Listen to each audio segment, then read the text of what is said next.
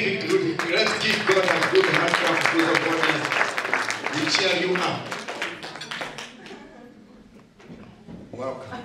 Thank you. And I believe all of us have had a good time. We have eaten, and we are all interested in becoming and supporting international full gospel businessmen, business family fellowship. And thank you very much for coming. Give yourself a good applause. Give yourself a good applause. One thing I know, before I do the next thing is this, because we are not here to speak. I'm not here to speak, just to say one thing. Business is very important. Entrepreneurship is very important. And we want you to support this work, this dream, this vision. In your table, you can see there is a card. That card is about us knowing how to connect, how to reach you, and even to be able, one of these days, to involve you in leadership in one way or another. Why? Because business, as we all know, is about relationship and connection. If you want to succeed, you must have a friend. Because two are better than one. And two or one can do something alone. But when you are two or ten, you do a lot, you'll be able even to get to 10,000 people. But when you are alone, when you calm down, when you are depressed, when you are anxious, you not you'll not be able to know what to do. So, brothers and sisters, my fellow colleagues, take that card, write your name, write your address, write your contact, and believe me, we will not trouble you. We will not keep chasing you with information. No, we'll call you when there is a need because we know time is money. Time is important. And we want to utilize time like real business people, like real entrepreneurs. And that's why we are requesting you, please put it down. And if you are interested in becoming a member, supporting this dream work, it's good we'll call you another day. It's not about today. So thank you very much. And uh, Mr. President, before I introduce the speaker, may I introduce a friend of mine whom we have worked together since we were young adults. We have worked together since we were young adults. We have helped each other in business connection in Kenya and in America, and we respect each other. I'm going to give him only 60 seconds, and his name is my friend John Wachira. Let's put our hands together for my friend John Amen. I greet you all this evening. My name is John Wachira, and uh, I'm so excited um, to hear there is a new chapter here of Full Gospel uh, Business. Uh, in Africa, we called it Full Gospel Businessmen Fellowship. And um, I used to enjoy it so much in Africa. And um, our goal then was to reach out and make a family of businessmen people back in the day. My prayer is you continue to connect, you continue to know each other. Right now, I am um, doing a home care business, me and my wife, and um, my wife is the, the big director. I am working alongside her. Amen. Name is John Wachira. And uh, I thank God for this opportunity.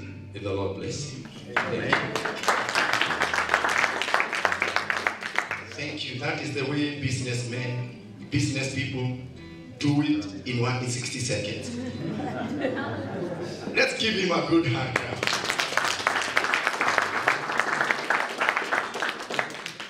The next person to introduce before I introduce the speaker and the, the family who are going to speak to us, is my wife. I'm married, and we say International Full Gospel Businessmen Fellowship is to help families become better and better. I'll show you my wife is good. That's my wife's stand up and succeeding in business or entrepreneurship.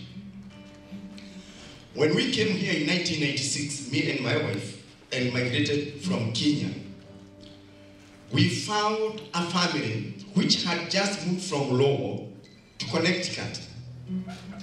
This family did not know me, and I did not know them face to face. But from Kenya, I had met the father of Esther and the family of Esther, but I had not met Dr. Jeremiah. So when I came here, we visited him with my friend uh, Florence and Simon. They are here. They are, that's true testimony. They told us America is a good country, but the way to succeed in America is to stay out of trouble. is to stay what? He taught us. We spent the night there. They taught us that there is everything which is there to put down, and if you follow through the process, you will succeed and be settled in America. They were so generous, they took us. Dr. Jeremiah took us all the way to Salem State University and made sure we enrolled there as international students. And since then, we have never stopped going to school, me and my wife.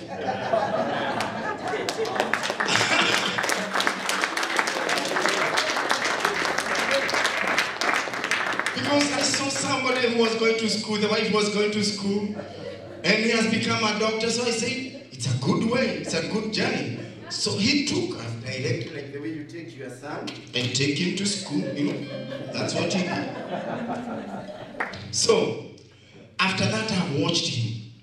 I've watched him when he moved there down. This family have been able to start something from the ground. They have a big real estate there. They have built, and it is operating successfully.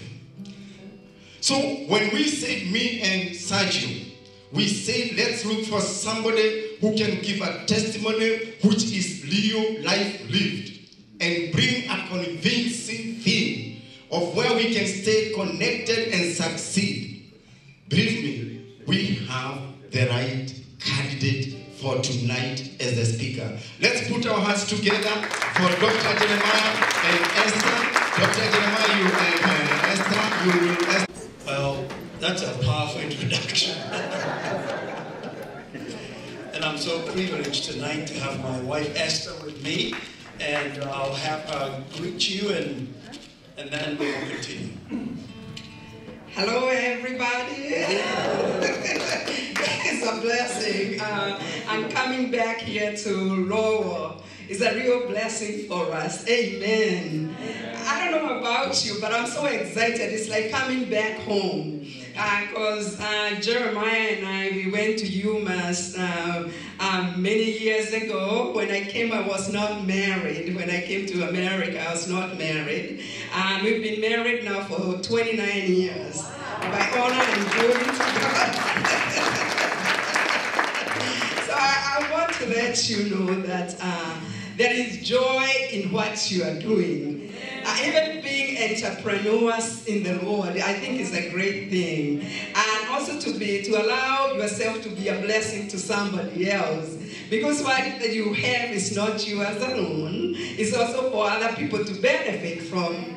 Amen. Yeah, I'm so happy to see all of you. Um, I, am just so encouraged. And this young man here is such a blessing to me. He has taught me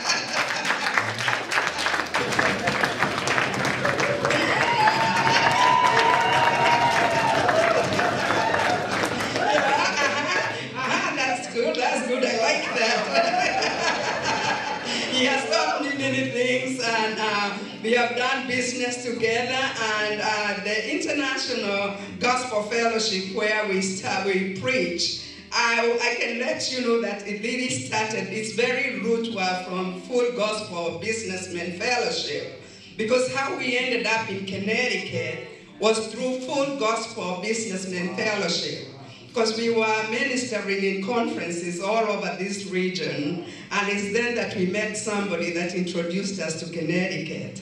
So it's a blessing that you're here, and God bless you.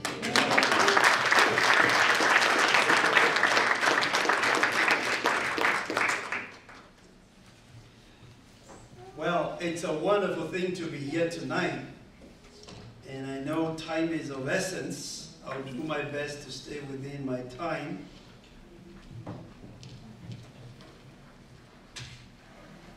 Too many papers here.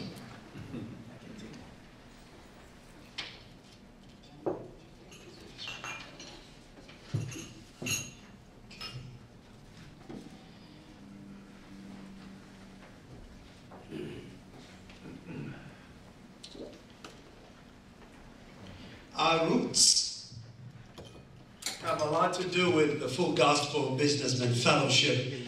And uh, so she just reminded me how we ended up in Connecticut. Uh, it was through Southern New England uh, Full Gospel Businessman Fellowship. I think it was the last one Demos Shakarian ever attended. He was in a wheelchair. And um, we met a brother there who connected us with someone else, and we began to travel down there to minister and to see people there. And we did not know that that's the way uh, God would lead us, and finally wound up in Connecticut where we did not know anybody. Uh, but I can tell you this as I begin. Uh, one of the keys for success is to be bold and not to be afraid and never to underestimate yourself. Because the story has not been told of what you are capable of doing. And you don't quit dreaming, no matter how old you are. I remember a few years ago we were in Burlington uh, for a marriage conference. And uh, so the man was there who was leading the session and he said, anybody married, uh, he, actually he said, anybody, told everybody to, sit, to stand. Anybody married five years, sit down. So people sat down. Anybody married 10 years, sit down. People started sitting down. He kept on going until he got to 50. There were still people standing. Then he said, okay, 60. Everybody sat but one couple. And he said, what are you doing here? And he had a gift for them. And they said, We want to learn. After being in this business for 60 years, we still find we still need to learn. So uh, you always have to go to school, keep going.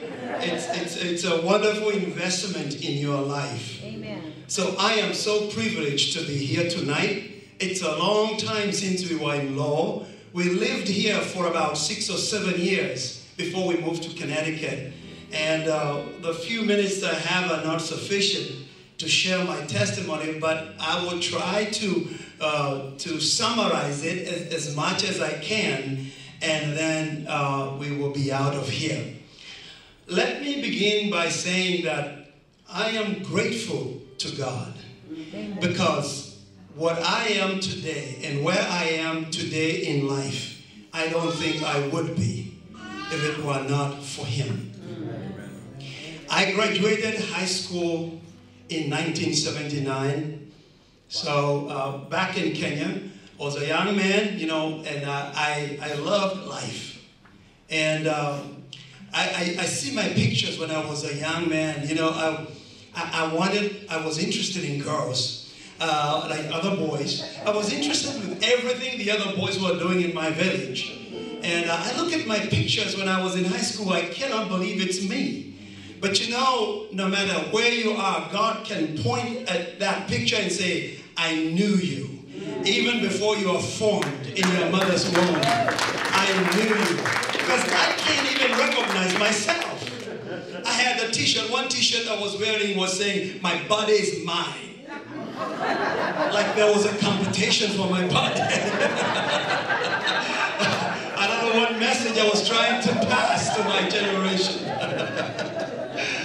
but, but I remember the last year of high school, uh, I actually, uh, my mother, my mother actually paid for me to go to a youth conference uh, done by the Anglican Church, and I didn't want to go. But uh, after thinking, I said, well, I think it's good, a good idea for me to go one week without working on the farm. Because we, we had coffee, we had tea, we had cows, and every minute my dad came around, you're not supposed to be sitting around. What, what, and you, the, the thing is, you saw him, you ran because he will find work for you. So I said, uh, for a week away, whatever you call it, youth conference, I'm going. But I did not know that I would go there and there was something in store for me. You, you never know what God has for you in the next stage, the next place, but, but there is always something God is working. And so I found myself in this youth conference. Uh, the last day of the, of the conference, this young man called Philip kept saying to me, you, You've been going to church and you, you've, you've not really given your life to God. And I said, um, I, didn't, I knew what he meant, and I didn't want to get involved with that. I came to escape farm work. I did not come to be confronted with this thing you're calling whatever, the truth. But you know, he insisted so much that I he prayed for me, and I don't I prayed with my mouth, my heart was not in it. But you know, your words do matter even when heaven hears them. And as a young man, my life began to turn around when I left that conference. And I found myself going back, you know, to our local church, and my life actually began to, to gain some direction. You know, um, I was so radically changed that I say to myself, I cannot, I, I had a girlfriend. So I said, I cannot continue with this girlfriend because my path has changed. So I, I wrote her a letter. Those were the days before the internet, uh, before you could text, before you. I wrote a post office snail mail. It took, and it had take like two weeks to get to her. And I, and I, and I, and I explained my newfound faith and direction in life that two cannot walk together unless they agree. So I said, please, we cannot continue because I'm on a new direction. You are not. And the only thing I need from you, please, is my picture that I gave you. we had exchanged pictures. Yo, even those days, people are exchanging pictures. It's normal to fall in love. Don't look at me like you haven't done that. so anyway, to cut the long story short about that one, that came, you know, the, the, the, the girl came, she was broken. And I, I wasn't broken uh, because my life was changed. And honestly, my life began to change at that point. And I don't even remember exactly what was going on. I was a sickly boy when I was growing up. I had trouble with my knees. And um, I remember when I went to A levels, high school, I had my problems with my body. My heart was beating too fast and I was getting nervous also, and I and I was, I, my life was was having real problems. In fact, one night my parents had to take me to the hospital, uh, and I didn't think I would make it because my heart was beating so fast. And when I went to the doctors, actually they gave me medication that was the wrong dose. So instead of regulating my heart, it it went down. Actually, slowed the heart rate to uh, less than 40. So when I saw Dr. Nagpa, he was an Indian doctor, he, I was shocked when he checked my heartbeat and all that. And uh, the pharmacist had made a mistake. But um, God was watching over me. And I remember one day, one day that was in the year 1982, I was going to a doctor's appointment. We lived in a village, so you had to walk before you can find the public means. I decided I had just become a believer and I decided to walk in a bush and pray. And as I was praying, I said to God, God, if you hear my prayer, I want to serve you. and help me because this heart is a problem. My knees, I used to get injections on one of my knees, and I wasn't doing well. And I remember when I sat with the, with the doctor that day when I went to see him in the city, I asked him, Will this affect me in my old age? Because I was thinking about old age. And he smiled and he said, I don't know. You know, he didn't want to scare me. I was a young man. But I knew something happened in that bush when I prayed. Because in a week, the doctor said to me, I'm going to send you to this other place in Nairobi where they will take a picture of your heart and they, I, they will also do this test and then you bring me the tests. Uh, the doctor was in another office. So to cut the long story short, I did that. I brought my reports. But to his amazement, my heart didn't even have a problem and my heart rate had normalized. And my knee trouble went. My migraines were gone. I used to have migraines. And I only asked the Lord to heal my heart, but I think He came with a broom. And He just swept clean so many of the ailments that I had.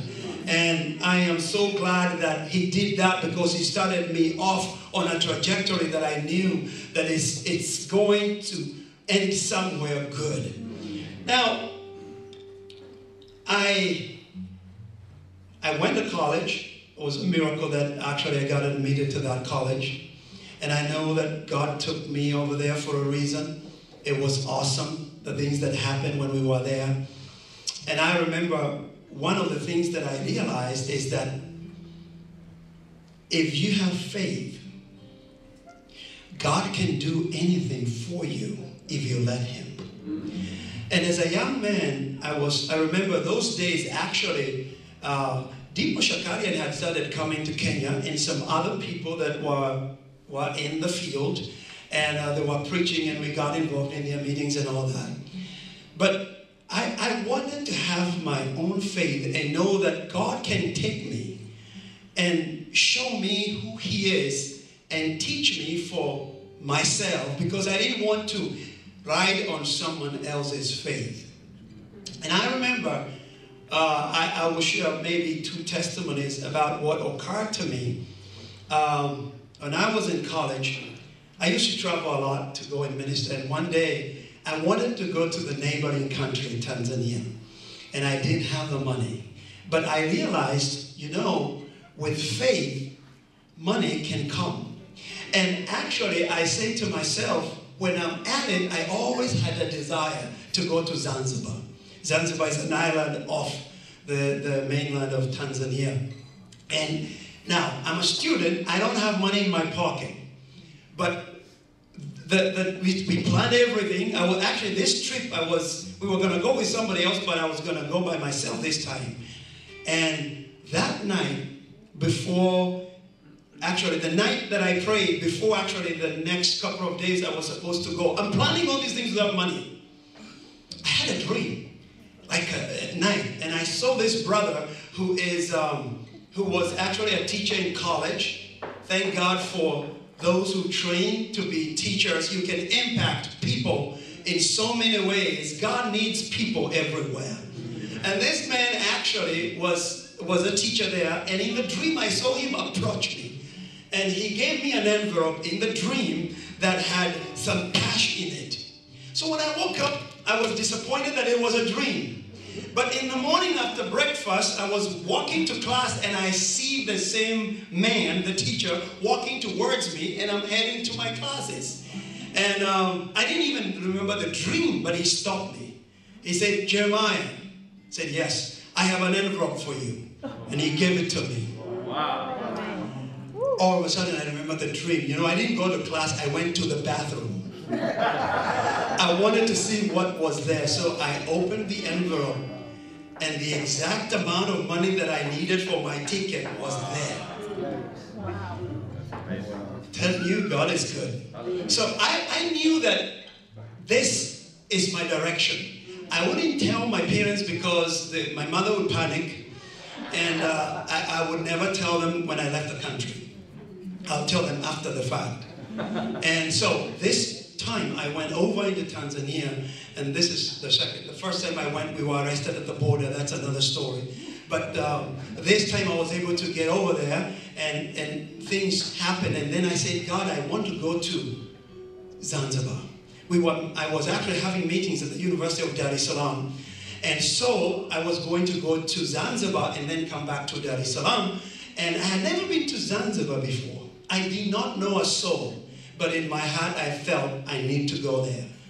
So I went to dinner. And it's a meeting, uh, a dinner, a brother from Tanzania was introduced to. He was actually in the business of supplying medicine, but he was a Christian. So we are having this meeting in the evening in his house, and I say, I really want to go to, uh, to Zanzibar, but I don't know anybody. So we, we were talking, and then he says, You know what? When do you want to leave? I said, I can leave tomorrow. He said, I'll buy you the ticket. Now, I don't know anybody. So he buys me the ticket back and forth, and I have probably two or three dollars in my pocket. So I get on this plane, never been on that, this Fokker friendship, the planes that, you know, my friend tried to get onto one and it, it started to take off and it, it aborted the, to get into the air. And the pilot said, whoops. we'll try again. So he cycles around the second time, whoops. But at that time it took off.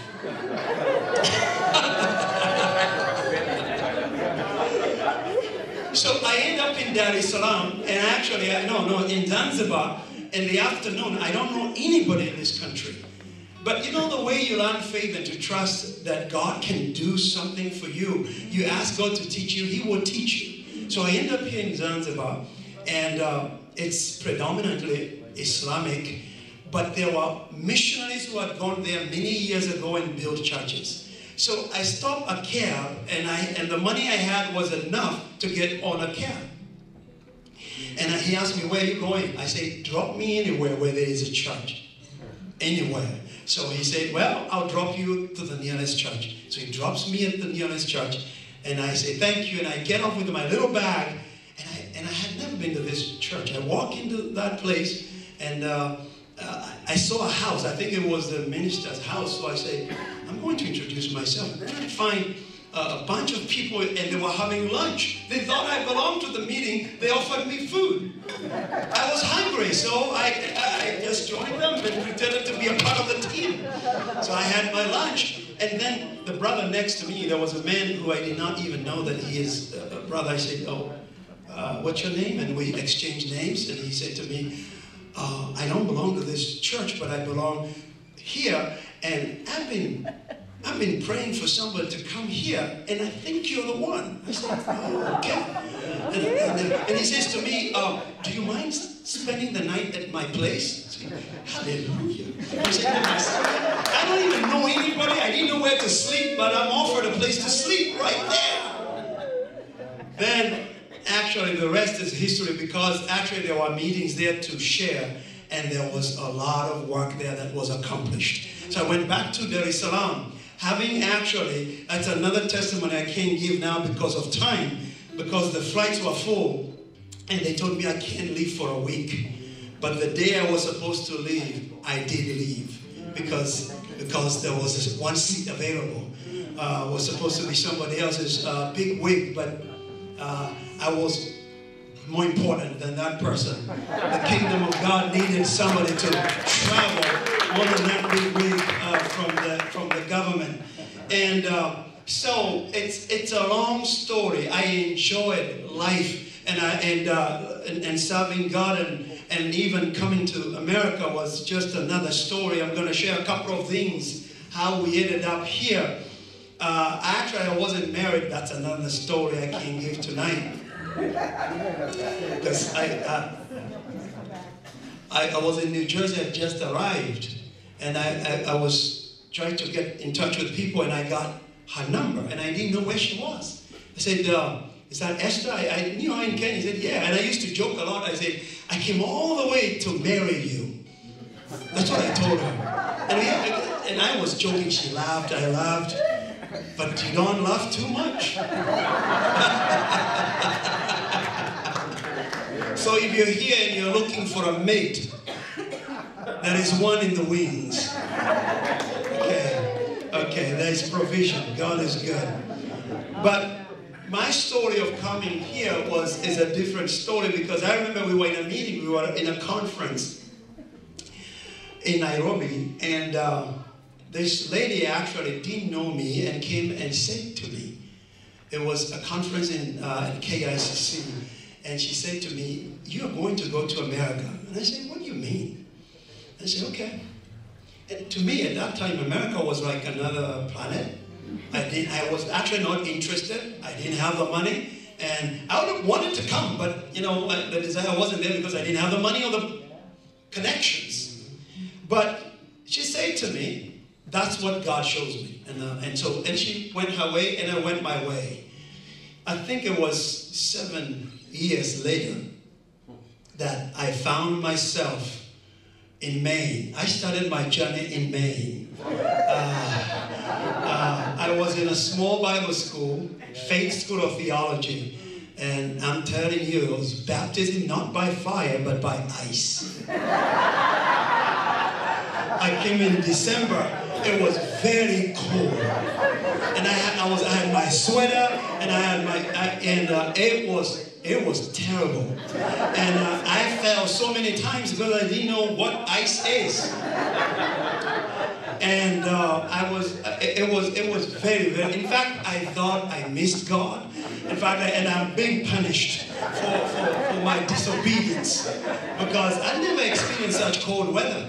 Uh, but I was there for, for a while, and uh, and then eventually, you know, I moved uh, from um, Maine and I moved to Massachusetts, and that's you know how we we met with Esther. And I remember as we were looking for a place of worship and all that, we connected uh, with uh, um, Pastor Najam and uh, CCF, and it, it, was it, was refreshing to find a place.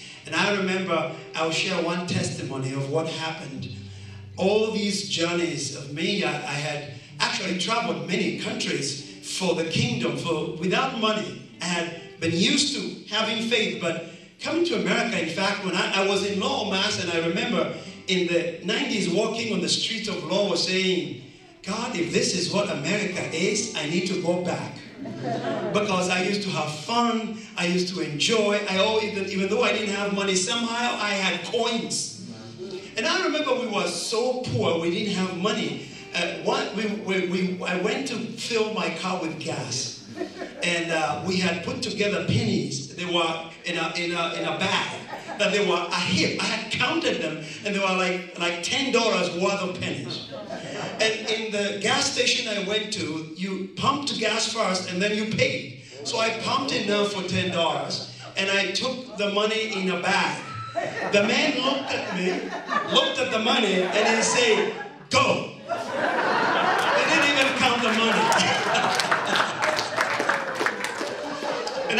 remember it was, I, I, I, had a Toyota Corolla that was 19, a 1988 Toyota Corolla that was rusted. Every time I drove it, it was dropping a piece everywhere.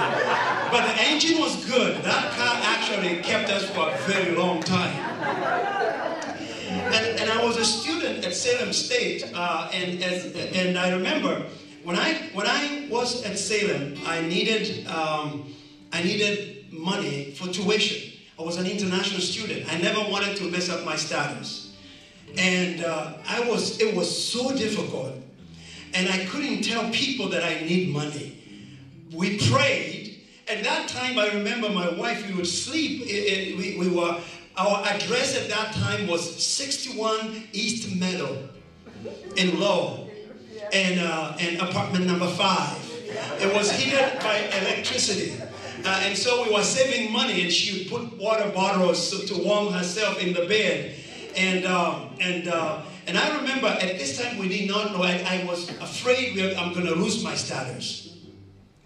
And we I couldn't tell Pastor John or Pastor Rafu what was going on. And um, one day I had a knock on my door, and it was Pastor John from CCF.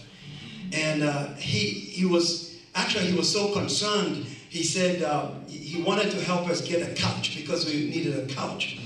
Uh, but he said to me, There's a woman in our church who was going to be a missionary in China, but she is not going. But we felt we need to give you this money to help you, to support you. When the check came, it was exactly what was needed for my tuition. They did not know that I needed tuition money. I didn't tell them, but it was exactly what I needed. Was really an encouragement to me. I cashed the check, took it to Salem, and my I 20 was back to normal. And it, it was just a miracle that God made a way for us there. And then when I, when I finished, uh, uh, Salem, I, I, I, I, wanted to continue going to school because I was interested in, in a doctoral program at the UMass place. And I remember when I applied to the program, you know, the doctoral program, there's, there's a committee those days. I don't know what they do today. Your, your, your application is reviewed by a committee and then they vote to decide whether they admit you to the program or not. So, um, they, when they took my application, I had done the exams, they, um, I think one was not in favor, one was in doubt, and one was in favor. So, uh, I didn't even know this until later on. So one of the guys who actually became the chair of my dissertation, actually a member of the dissertation committee, actually called me later when I got my letter of admission. And he said, Two of, of us were not sure. I was sure. So don't, don't shame me. You, I say to them, I don't know what you're seeing. I see this man being victorious. You know, um, God will always put someone in a meeting where you're absent. When they're talking about you, someone will be inspired to be there even though you are not there. So you are always well represented. Always. So, and, uh, and so I got into the program, and one of the things that they did, they admitted me to the program, and they also gave me a teaching assistant so that I never paid tuition. Actually, they were paying me like uh, $800, $900 a month on top of paying my tuition. So it was just a blessing. And I was able to finish that program successfully. I remember the day I defended my dissertation. And, and I'm saying this to say, to encourage you, if you if you want to do something, you know, never doubt yourself. Many people will see your potential uh, and others may not, but there, there will be someone that God will use. Like that woman who talked to me, or that person who was in that committee, or there'll be someone in the church when you cannot say something because there's a need, God will speak on your behalf. He is always a friend, even in business. Deals will come to you. Yes, you have to work hard. You have to do what you have to do. But when you put in your bid, know that you serve a great God who goes ahead of you. And if God be for you, who can be against you? And I, I remember when I came to defend my dissertation, it, it, the, those days there was a problem. Actually, in, the, in, in most graduate schools, what happened is when, when you went to defend your thesis, if, if your committee members, your, your professors have problems with other professors, they will come in order to poke holes with your student study so that they can revenge. So my prayer was on the day I defended, let no one show up. And so I was given a date to come and defend my thesis. I was in Connecticut already and they actually predicted a huge storm. and, uh, and so uh, they, they started closing schools. I was on Mass Pike. I called my chair to find out whether they're still going to do my dissertation because I wasn't even sure I'm going to make it to Lowell because it might start snowing anytime. And he told me, we are now changing it. We might have snow in the afternoon, but we decided we're going to be here. The campus is closed, but we will be here. So all the other professors were closed out. so when I went to defend my thesis, it was on in my committee, and you know how they do these things. You go, you present, and then they ask, they ask you questions and all that. then they tell you to go outside to, so that they can vote on whether they accept your work. And when I got there, I remember Dr. Gow was saying, Welcome, Dr. Jeremiah Karanja. I said, Hallelujah.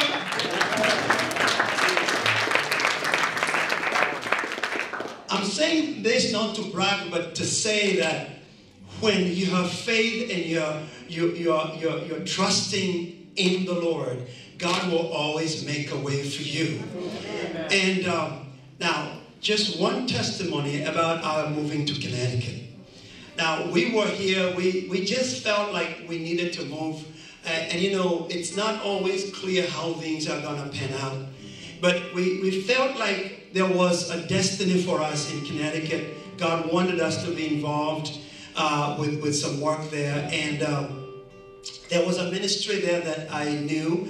And actually, they invited us to go so that I can assist the pastor there, and Esther would be with us, and um, and they promised to help us pay our apartment and all that until we are settled. All the three kids were in diapers.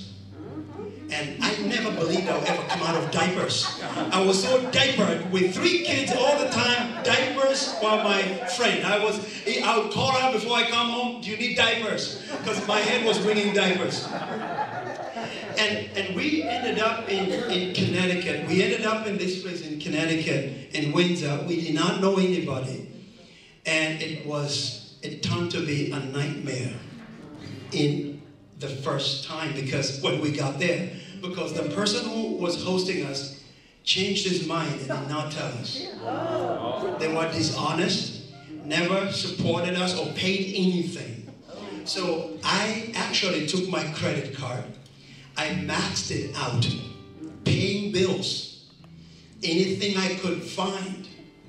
But tomorrow, my message over there in the church will be about that woman who borrowed vessels. Anyway, so I, I we, we ended up actually in in that place where it's disappointment. You have a choice to make when you face a disappointment.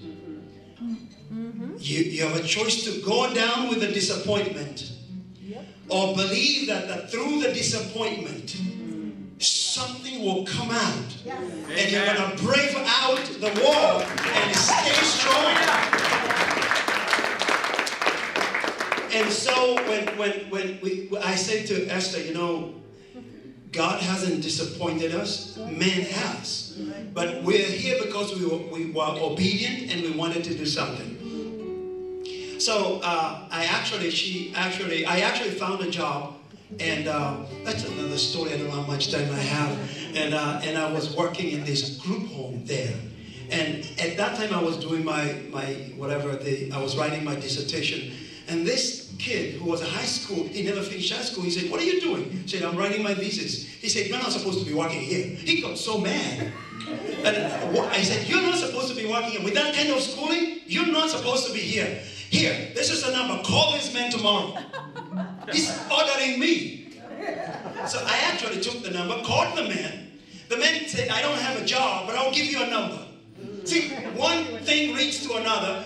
The guy, I call him, and I'm telling you, I don't know anybody, but the man says, Can you come and see me in three days? Favor.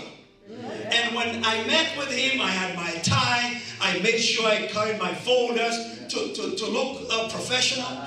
Because I was a professional. And when I got there, he, he, he said to me, uh, Where are you from? And I said, From Kenya. And it's a long story. And the man started saying, Oh, when I was in school, I studied Kenyan history. Jomo Kenyatta, Jomo Kenyatta. Are you a Kikuyu? I said, How did you know? so, anyway, to cut the long story short, I got a job for the first time. When I left Lowell, my I was I was making seventeen thousand dollars a year. Mm. That was a lot of money then. Mm. I can he's looking at me saying. but when I got there, that job was I was offered was almost forty thousand dollars a year to start with. Mm. And uh, soon after, Esther got a job with the state of Connecticut, and our finances just bounced back. And God actually opened a door for us. We, we served that ministry. We felt like Jacob serving Laban. we, we served there for four years. And then after four years, we said we have to leave. Uh, and God released us. To cut the long story short, even then, we started, we started a ministry, an organization in our own house, in our basement. And then after that, we moved out of that. We went to a hotel where we were having meetings. And it kept growing. Then we leased a place where we went. And I, I'm telling you, all this time, things are moving. And when we moved from the hotel to the place we leased, I had to resign my job because I couldn't do ministry and also uh, continue with the work that I was doing with the school system where I was.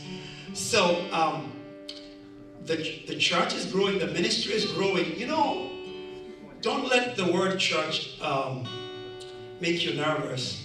Because, you know, what I have learned over the years of, of ministry is church is a business and it's a ministry. And, and it's, it's all these other things that apply to uh, principles about doing business the right way applies to the church.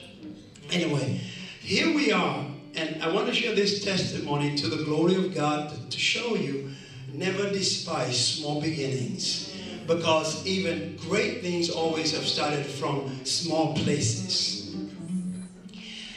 We leased that building, it was very expensive. We were paying 3,000, almost $3,000 a month before you pay the utilities. But from the day we got there to the time we left, we, we never missed one payment. We never had a problem with paying any bill to this day. To this day, we have never been late for any bill for almost 18 years now. But what happened is when we went and leased this place, I remember the day I spoke to the church, we had about 40 people in the church, and I said, This is our first lease and the last lease. When we leave this place, we are going to our own building. I had no idea what our building costs. But you know, faith doesn't always tell you the price. Mm-hmm. But faith cannot be explained. And I remember I, I took my buddy who was in the church, a brother, and we started looking for land by faith. And I told the church, my 40 people, and I said, let's start a building fund. And we had $30,000 in the account, and I thought, now is the time to build. I have 30 grand. And I called a friend of mine who was a pastor, you know, and he said, 30,000? That's nothing in Connecticut. Oh. And I said, well, there goes my encouragement. I said, I'm not calling any other pastor. I'm going to pray and I'm going to believe that the God who sent us here is well able. So my friend and I are going there, to tobacco farms. We would go there, knock on doors. And, uh, and, uh, and, and they tell us, no, the land is not for sale. Then we would knock on another door. And then we, were about to sign a, uh, a contract with someone. And that fell through. And it's, it's really, you have to know that when you fail, you learn and you rise back up. When one door is shut on your face, you don't stop. You keep moving. You may have a nosebleed, but keep going because the right door is going to open for you because God will never fail you.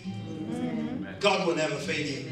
And God doesn't care whether you're an American, an African, or a Lebanese. He is not a respecter of persons. No matter where you come from, we, we share the same blood. If you've been redeemed, there's, there's, there's a kingdom cause in your life.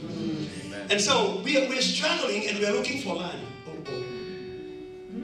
I hope I don't mess this. Can you hold it, please? I'm not going to hold on anything anymore. Okay. Uh, so uh, one day, this brother, the friend of mine, we're looking for land. We have like now $40,000. He looked at me and he said, hey, why don't we go and check my land? Maybe you can build a church there. I said, what? We've been running around and you got some land. I said, well, and he said, he said to me, well, I don't even know whether it can amount to anything, but you know, I, I didn't even know I knew where his house was, but I didn't know where they had land. So, so we went there and cut the long story short. We, this, this man, you know, uh, God works things in advance for you. Mm-hmm. He bought this piece of land when he was a young man, somehow, and he on his deed he has 11.9 acres. That is the amount of land he has in his deed. So he said, I am going to give the church five acres. Okay, so we decided to go and look for um, somebody who can actually, a wetland person who come in and, and actually take a, a look at the land and survey the land and see what can be built, what cannot be built. Uh, and so we, he, we went and went after surveying the land, he said, You have a problem here. You don't have 11 acres, you have 18 acres. So whoever sold him that land, God had ordained it. So the wife says to him, he's, he's given us five acres. He still has more than 11 acres. So it's like he gave nothing yet. So that's how God works. He didn't lose anything. Actually, he gained because he got a new deal with more land, and the church got its land.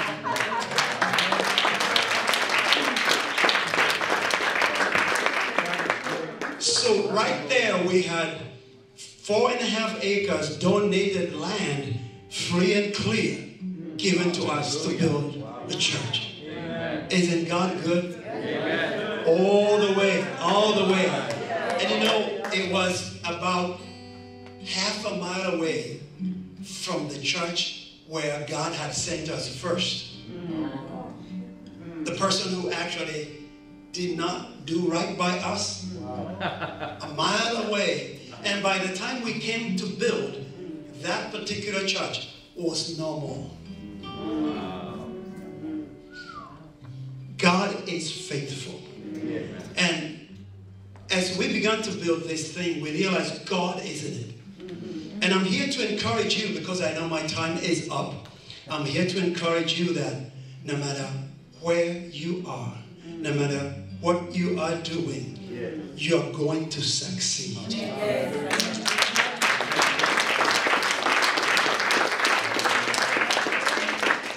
I want to encourage you. There's one man who encourages me. There's one ingredient for success in the scriptures. There's one man called Abimelech in the book of Genesis. And Abraham is not telling the truth. Sarah is not my wife, and know the story. And Abimelech takes Sarah.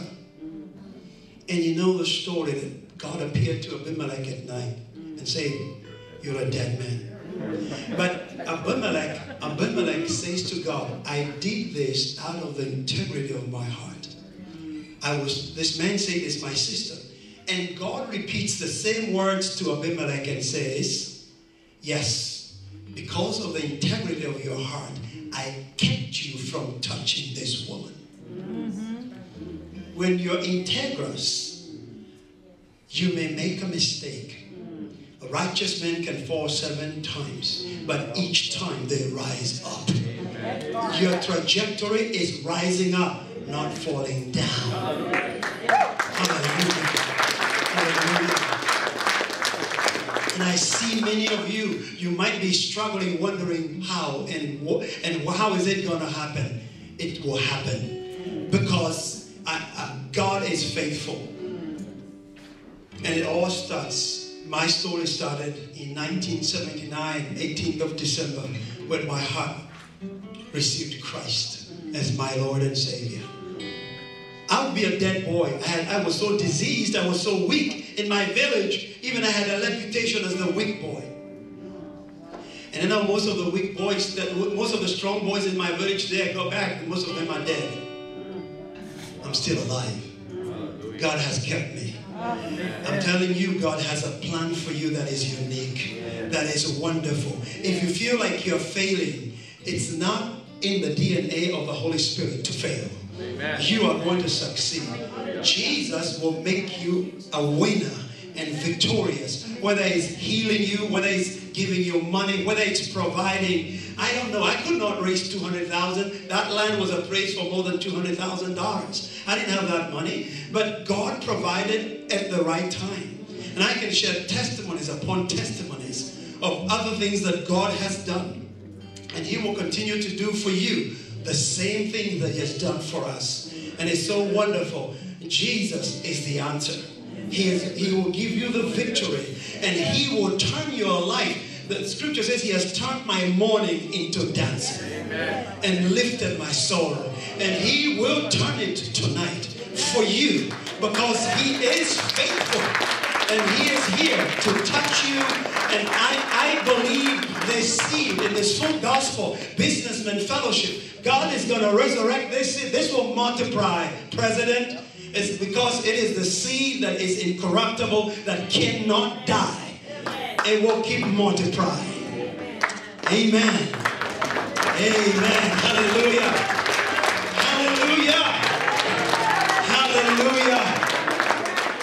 Is faithful.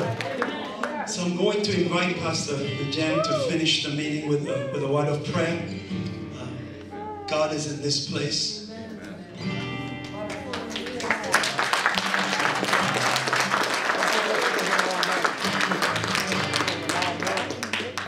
we read about a man named Martin Luther, a priest, going up to the, on the stairways of a cathedral in Europe on his knees.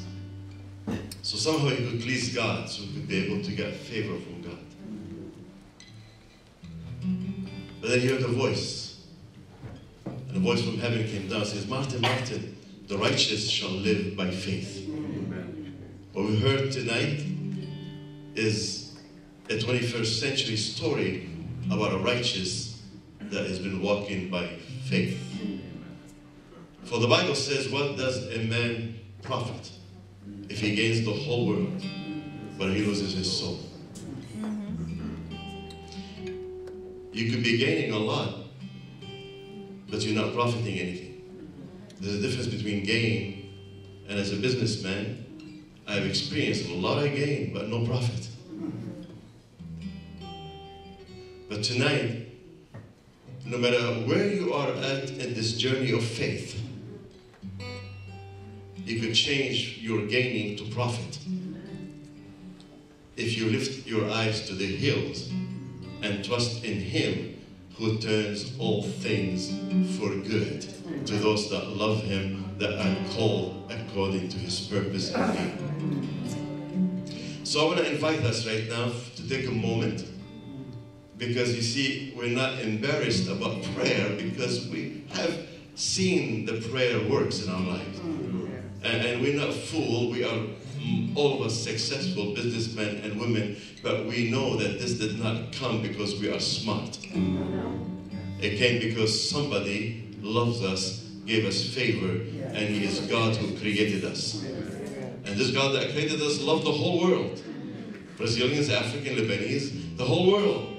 That He gave His only begotten Son. Yes. That whosoever believes in Him shall never perish, Yes. but have everlasting life. Mm. No matter how successful we are on this earth, we live 60, 70, or 80, mm. and maybe 90. But 90 is nothing. Because when I was 20, I used to think 60 is, wow, that's far away. But all of a sudden I'm 65. Where did the time go? It goes like that because the Bible says, man, life is like a grass. Appears for a while and it's gone. Would you bow your head with me for a moment together? And just think for a moment. Just pause. What we're going to do is, we're all going to pray together. We're all going to dedicate our life to the God who created us, to the God who has a purpose for us. And his purpose is not a selfish, it's a purpose that will he will bless us to make us a blessing for others.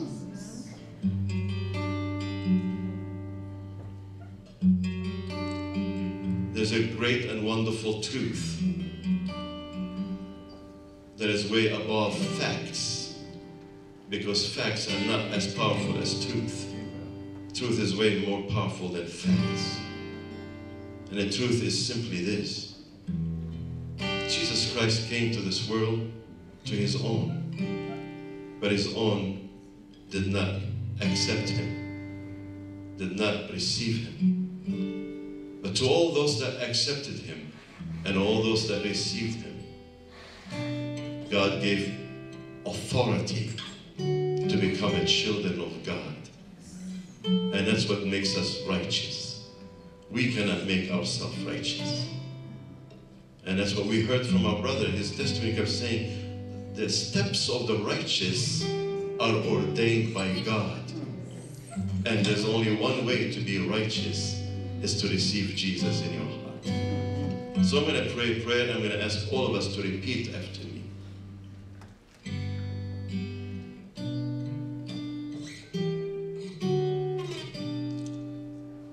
Father God, thank you, for your love.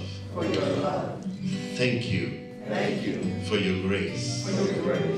Thank you, Father, Thank you, Father. for your mercy. For your mercy. Thank you, Father, Thank you, Father. for Jesus Christ. Jesus Christ. I open my heart I open my heart. and I receive Jesus Christ Jesus Christ. in my heart In my heart. as my own As my own. Lord. Lord, Savior, Redeemer, and friend. I dedicate my life for the glory of God.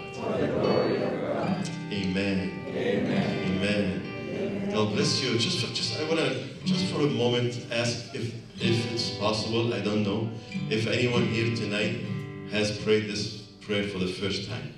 And if you have, would you just kind of like wave to me if this is your first time that you prayed such a prayer? You know, I don't know if there is any, but it's okay if we would be nice to see if there is any. But if this is your first time that you prayed this prayer, could you just wave? No? Okay? Well, I want to thank you all for being here. I want to bless you in the name of the Father, the Son, and the Holy Spirit. Amen.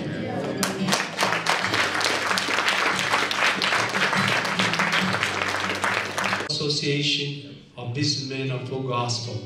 That's what we do. Yes, we are here to do business, but also we are here to do business with God. Yes. Okay? Amen. Because He's the one above all.